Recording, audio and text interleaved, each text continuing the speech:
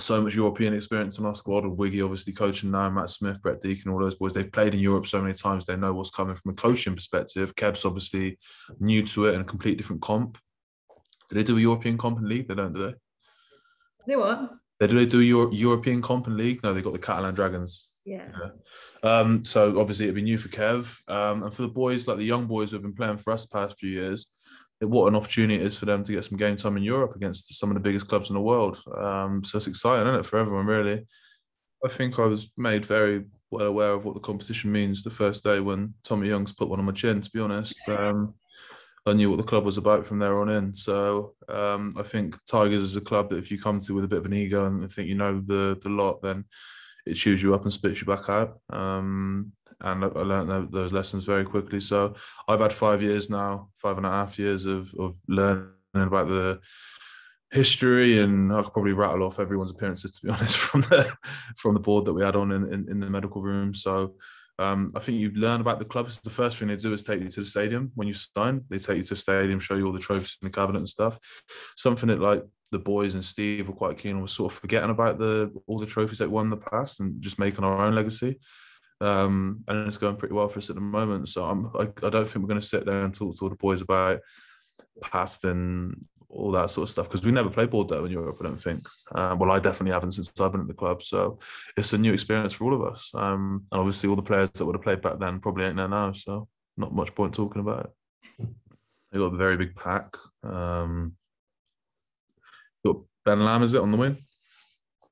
Um, he's obviously a great operator they've got some really good players, haven't they? As most French teams do. Um, as I said in previous interviews, it's it's a mental competition, and we don't play against these boys week in week out. You probably just see their their highlights on Instagram and stuff, um, and they look pretty sharp. So no, I'm excited. It's a, it's a different challenge for us, and I know this sounds a bit silly, but it ain't really about.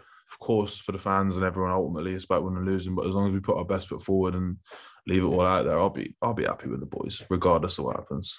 Yeah, I don't think like factors on the pitch used to affect our team. I'd say it's probably like it wasn't the sorry, yeah, like I said, it wasn't the problems on the pitch. It was probably off the pitch that was affecting us. Uh, I don't think we've ever really been that bad at dealing with stuff on the pitch. It was just uh, we had a few more issues away from it, you know. So um, yeah, but like French crowds, I've, I've never like played in front of too many big crowds in France. Played at the Racing one, and obviously at some of the games against France um, internationally. But they're, they're just very loud, aren't they? Very passionate fans. I've got a few friends who play in the Pro de Two um, or the Pro de Deux, and um, they've got mental fans. You know, like some of them got more fans than the, the top league teams. So they're very, very passionate people, passionate about their sport, and they're loud, aren't they? So I just want to play against. Um, what's the one? Is that Clermont? I don't know. Have you not heard the Yellow Oh, Submarine? that choice. I heard it earlier on as well. I love. Yeah, no, I think it's Clermont. Do it. I, I love all that. I think it's mint, like all the chants and that. I'd rather hear that than the the generic ones. You know, it's like all the same. Yeah. So, yeah, obviously they want to they want to take the scalp and get revenge. That's what I'd be thinking. I'd want to I want to get one over them after after losing in round 16 last time. So we've got to be ready for that as well. I think like the European competition is quite relentless in that respect. Like you don't get much time to think about it because you don't review it, do you? Because you're on to a different team the week after, then you probably play them again in a few weeks. So I guess that's the fun of it, and we, we just got to embrace it and take it all in.